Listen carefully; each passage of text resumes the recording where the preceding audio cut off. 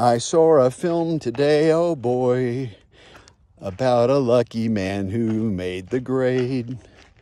Of course, that's John Lennon from A Day in the Life. I'm sort of feebly trying to echo that song, which is a beautiful song.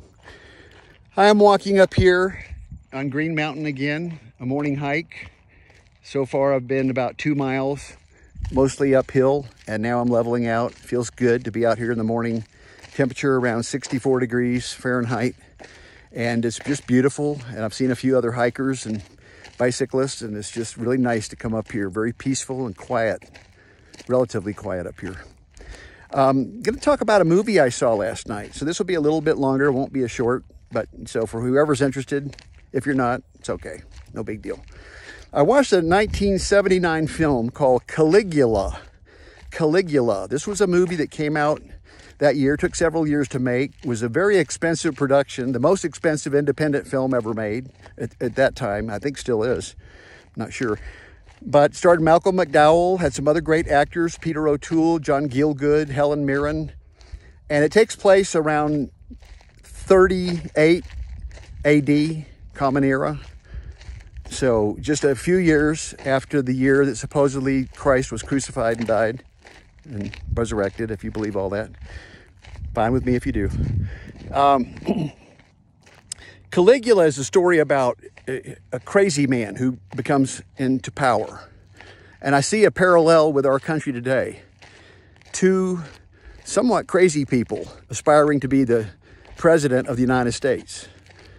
And I think one is much crazier than the other and much more dangerous potentially than the other. We've seen what four years of Trump did. And yeah, they weren't all positive, great things, but you know, he, there were some positive things. The main thing that stands out that were positive is the country was not at war anywhere.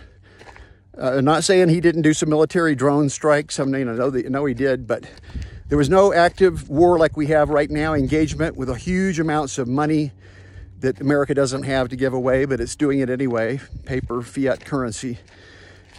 Giving it away to Israel now, as if the Palestinians are the bad guys and we got to crush them. Like they don't have rights to. They're not being abused to. Why are they attacking Israel? Um, you might research it a little bit, and there's some good reasons why they're really fed up and pissed off about it, being mistreated as they have been. But I'm not trying to take a position to defend Israel or the Palestinians. I'm just saying America has been involved in that the last several years, this year in particular, and in Ukraine. Another instance where the United States planned this out to engage Russia in a war to seek to drain their military to weaken their military so that they cannot have any influence anywhere else in the world, like America does. You know, United States has military bases in a, a thousand military bases around the world in over 120 different countries and way bigger and more powerful, military speaking, militarily speaking, than Russia. And so this was a, a war that did not need to happen, but the Democratic Party has become the warmonger party. They feed the elites, the military industrial complex, and all the other big companies, oil, big pharma, and they control so much of it through the media. They control the public opinion as to what's going on through the media. And there's only one outlet that opposes them, that's Fox News. Whatever you think about them, I'm not really crazy about them either, but all the other major news outlets on television at any rate, and print media and magazines, they're all owned by three main, main corporations. And they are funneling down their views and opinions and ideas to people to absorb. And so in the movie Caligula, he's, he's a young man who suddenly, by murdering, he doesn't actually do it himself, he has a, one of his cohorts murder the emperor, an old man who's very sick and feeble. So he goes ahead and kills him, and he becomes the new emperor. But as the saying goes, the emperor has no clothes. Caligula is just a base, immature, self-centered, very cruel person. He doesn't care about the, the people of Rome or his country.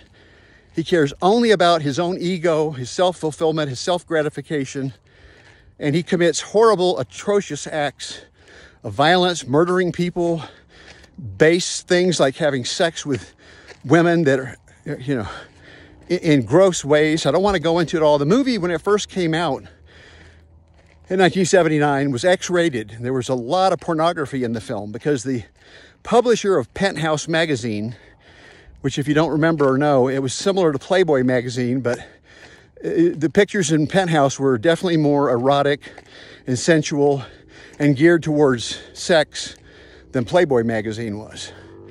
And the owner and publisher, Bob Guccione, financed this movie. And when the movie was filmed and made and produced, after the fact, he went back in and incorporated a bunch of pornography into the movie, especially the scenes where they're having orgies, which they did in Rome. We know that. We know that from writings and historians tell us they did.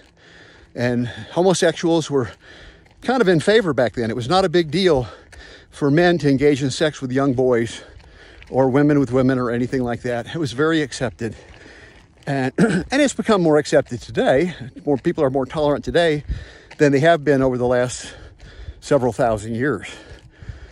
And in the film, the original film, I saw the original film, and it's pretty vulgar. So you can still find that, it's available. Not maybe on streaming, I don't know, but by DVD you can find it. And this new version that came out I watched yesterday is three hours long. They give some of the history and background at the beginning of the film. And there are a few sexual orgy scenes, but they're really toned down. They're more what would be an R rated film today. Probably not X rated or NC 17 they'd probably be R rated. But the film is hard to watch because it just shows the ugliness of this leader, how he's feeding his own desires and his appetite, his lust for power, that he can do anything. He's the emperor, he can do anything. And the analogy I saw was that there were certain qualities of him that I saw in Trump when he first came into power in 2016 and certainly qualities I see in Kamala Harris, a little different with her because she hasn't really been on the scene that long to really observe and see how she's going to be. But there are lots of videos on YouTube and probably other places too. But on YouTube, there are lots and lots and lots of videos of her showing how she actually is in real life.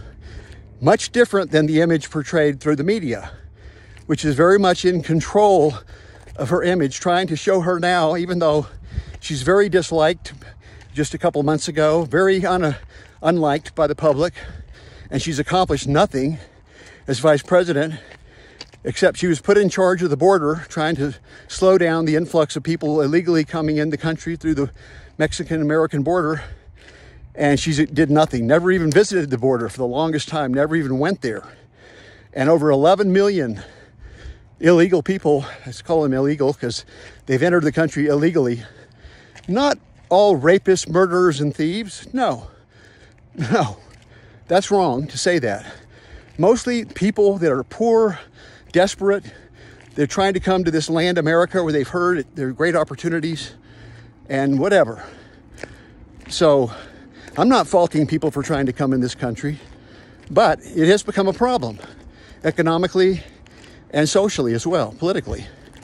And so Kamala Harris, to me, comes off as really a buffoon, uh, a person without any substance, without any moral integrity or character, any substance. And very much like Caligula in the film Caligula, played by Malcolm McDowell. He did a brilliant job, I gotta say. So, the point of all this is we get this so called predictive programming, these messages in our films especially in movies, television shows sometimes too. X Files was a good one. Um, that are telling us about things that are really going on that many times seem too far fetched to really believe. They seem exaggerated. But in essence, they are telling us this is happening. Pay attention. And again, as I watched the film Caligula, it really sank in that these are scary times because whoever wins that election, it, it doesn't really matter that much. It's probably not going to be so great for this country at large and the people in this country, or certainly not for the people around the world that look to the United States as a major influence and kind of a role model, if you want to call it that. Uh, we're in perilous times today, folks. And the only thing I can really say in closing is that we all have to take responsibility for our own life, our own experience, and be accountable for what we're contributing in the world, whether it's positive or negative. And really examine that and ask ourselves every day Am I here to make the world a better place or to tear it down? So that's all I have this morning. Best to you all. So long.